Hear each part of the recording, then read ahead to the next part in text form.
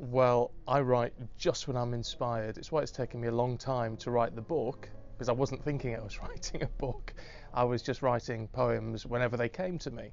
So it's literally based on little moments of inspiration and then just seeing where that took me. So it's not planned, it's not pre planned, it's not anything thought through. It's moments of inspiration that literally get down on the page in 20 minutes. So it's quite nice that way. I'm not working to a schedule. I'm not having to create on the spot. It's just whenever something strikes me, which is really feels very natural.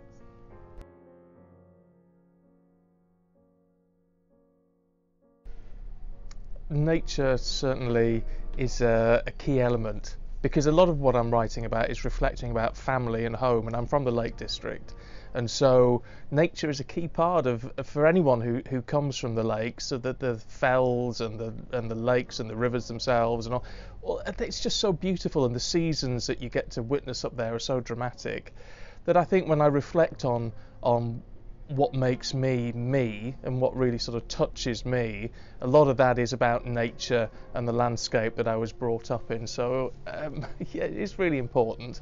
And I do sort of think as a northerner as well it's one of those things if you're a northerner you never quite lose that and, and a lot of that is to do with the connection with nature somehow I think we feel it more than than perhaps people who are brought up in towns and cities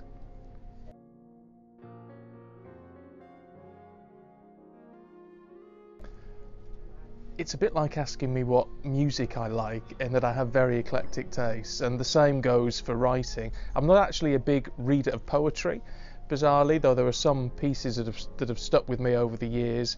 In terms of novels and things, I, I you know I like crime drama. I like um, I'm big into the into the Jack Lee Child's Jack Reacher series that I'm listening to on Audible at the moment. So I'm really into all of that sort of thing. Uh, Richard Castle books, which is a spin-off from a TV show. So all this sort of bizarrely fantasy sort of stuff is is what I like to read, which is sort of the exact opposite of what I'm writing, which is all about realism and real life and and, and real feelings. So it's a, um, I guess I'm a bit eclectic like that. But I do like a bit of escapism. I think that's partly to do with the job, because obviously my job is very real and often very grim in what we're talking about. So I think that sort of escapism into goodies and baddies and the get the good guys always win in the end sort of thing is is is sort of reassuring and it's a nice switch off. I can turn my, my brain off for that. But but oddly enough, not a huge poetry reader per se, but they're the, the odd bits that, that have stuck with me through the years.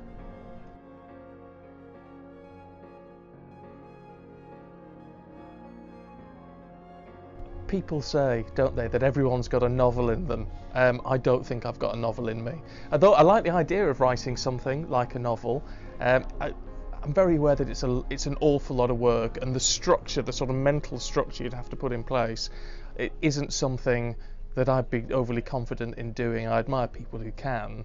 I don't know that I could. So poetry is is is something I feel very comfortable with um, and is probably what I would stick with. I think I don't know that that anything longer form is would be in my repertoire really. Though never say never. You never know.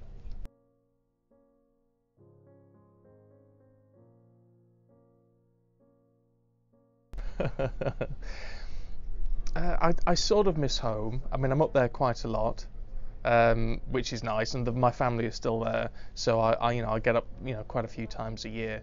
Um, but it's funny. I mean, I don't live in London anymore as I used to, um, and that to me feels like down south. Uh, but I moved to the South Midlands seven or eight years ago, which is, and I actually live in an area which is very countrified, which is as close to home as um, as I can get in that sense. So I don't miss it in the same way now that I actually live near fields and with birds in the back garden and all that sort of thing.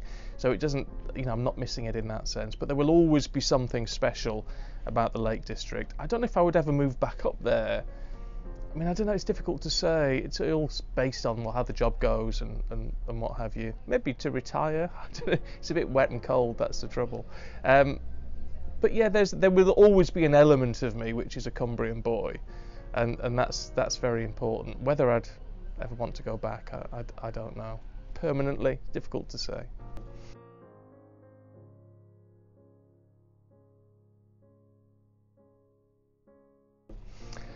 uh, Love is the Beauty of the Soul is a quote from St. Augustine, which really um, struck with me so much so I had it tattooed on my ankle. Um, and so, as a, as a result of that that thought and, also the tattoo, um, I I really wanted to incorporate it into the book somehow. Um, and so it just it just struck me that when the, when that poem came through, it was I thought it was a, a poem that worked really nicely and just seem like the right sentiment for the book as a, as a title because it is all about sort of honesty and, and goodness and what is right and, and, what is wrong to an extent in how some people behave. So it seemed like the right title. Um, as, it, as for my favourite poem, I don't know. I'm, I'm torn. I change my mind every time I read them as to which is my favourite. Depends what mood I'm in.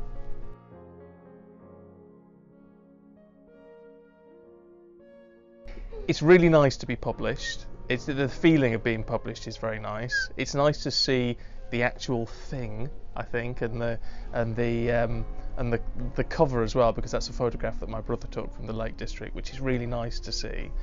Um, but also just being out there. I think the idea that something that you that I've done in, in the sort of privacy of my own life resonates with other people and, and, and is liked by other people is is quite rewarding actually in a way I wasn't expecting and there's been some you know lots of nice comments on Twitter and and um, and online and, and that's that's been really nice actually. Someone's having one of my poems read at her wedding and all these sort of things. It's a real surprise but it's nice to know that some of what I feel is felt by other people as well. So it's, it's been a re- really rewarding experience so far